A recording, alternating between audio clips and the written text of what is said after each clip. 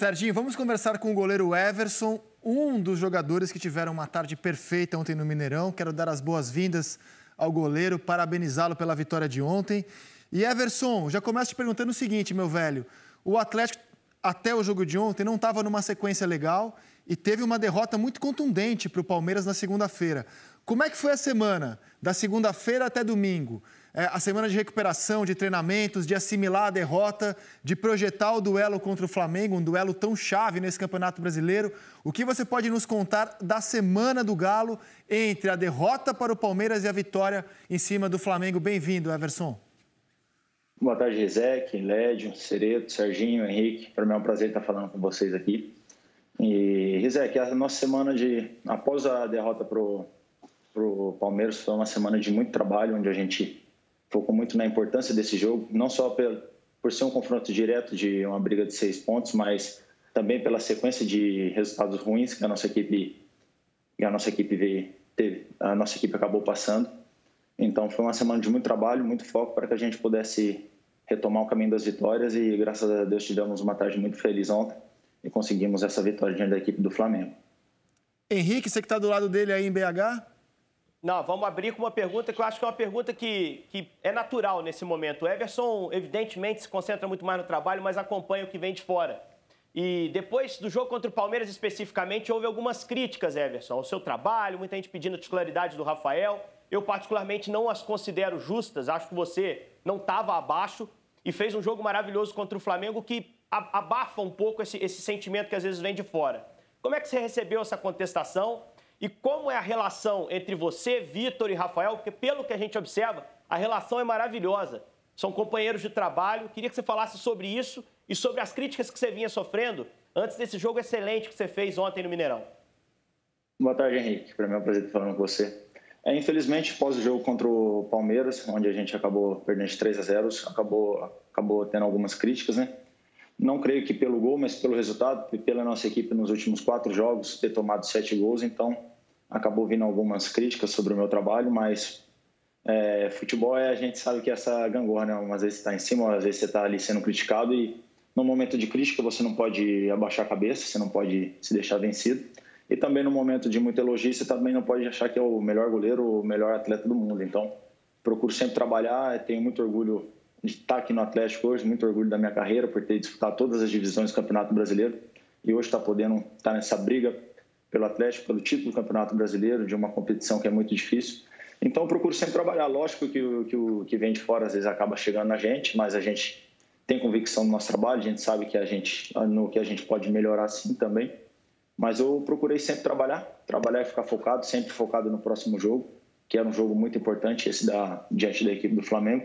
E graças a Deus pude dar minha parcela de contribuição na, na vitória com a nossa equipe. E em relação à relação em, em, comigo, do Vitor e do Rafael, junto com o Maia, o, o Danilo Minuti, que são os treinadores de goleiro, é uma relação muito boa, a gente tem um clima muito leve. Estou aprendendo muito com o Vitor dentro do, do Atlético Mineiro. Hoje o Vitor é o maior goleiro da história do, do Atlético Mineiro, se não for o maior ídolo, então vem aprendendo muito com ele. Fui muito bem recepcionado pelo Rafael também, que é um grande goleiro, que veio, vinha fazendo um grande campeonato brasileiro, foi o goleiro titular no, no, no, título do Campeonato Mineiro. Então a gente tem uma relação muito boa de trabalho, de companheirismo e de amizade. Agora, Everson, eu te fiz uma pergunta da semana e eu queria saber se você podia ser um pouco mais específico assim no que, que o Galo trabalhou psicologicamente e taticamente para encarar o Flamengo. Que tipo de trabalho, assim, que você, se você possa dar alguns detalhes de coisas que vocês pensaram e conseguiram executar tão bem ontem. É, Zé, que o Sampaio é um, treinador que trabalha muito, né? Todos aí já conhecem a metodologia de trabalho dele. E ele sempre foca muito no, no, no adversário seguinte. Então, a gente trabalhou muito vídeos sobre a equipe do Flamengo, a gente estava acompanhando também o momento deles, a gente, a gente sabia que era possível a gente, dentro da nossa metodologia de jogo, a gente conseguir buscar a vitória. Então, a gente trabalhou muito a saída de bola, né? Que a gente sabia que eles iriam pressionar bastante a gente. A gente sabia que esse estoque curto dentro da área poderia poderia favorecer a marcação alta do Flamengo. Então, a gente fez alguns trabalhos de saída de bola e também muito trabalho de finalização para que a gente pudesse concluir as jogadas em gols. Seretinho, o que você quer saber é, do Você vê que você vê, Lédio, que não é por acaso, não é por acaso essa vitória do Atlético. Ela foi pensada, né, Lédio? Total. O Lédio não pediu a palavra? Pediu, mas pode pegar você e fazer essa pergunta. Mas ele pede a palavra, eu gentilmente passo a bola para ele. Pergunta.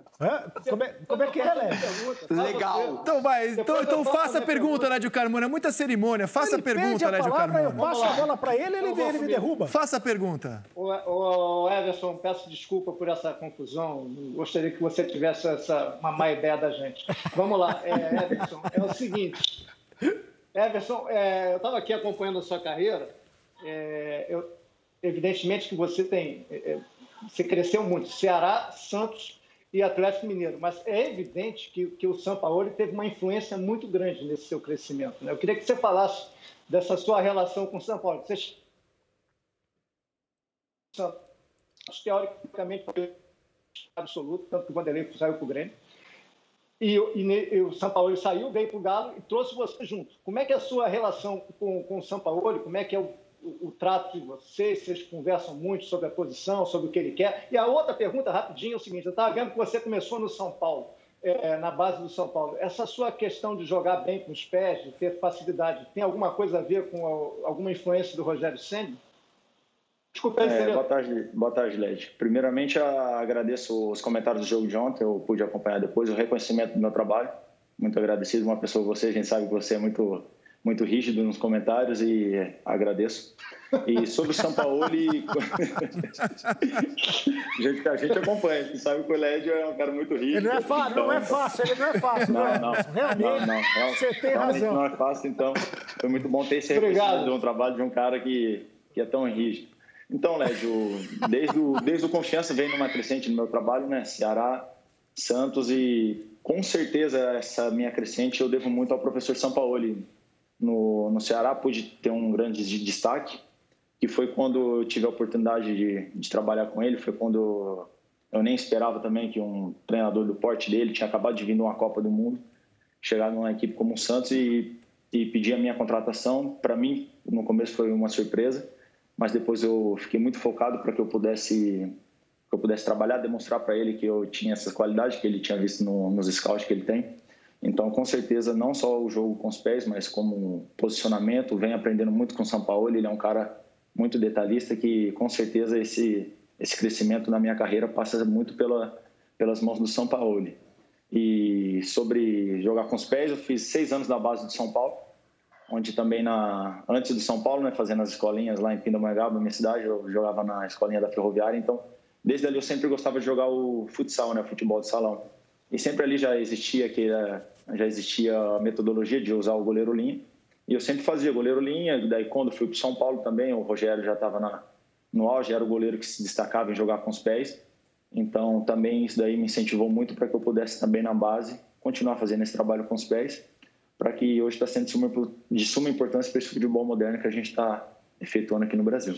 O Everson, obrigado pela sua participação, meu caro. Parabéns mais uma vez pela campanha. Grande abraço para você e até a próxima. Antes, Nádio Carmona, qual é a nota do Everson? Você que é rígido, de 0 a 10, qual é a nota do Everson no jogo de ontem?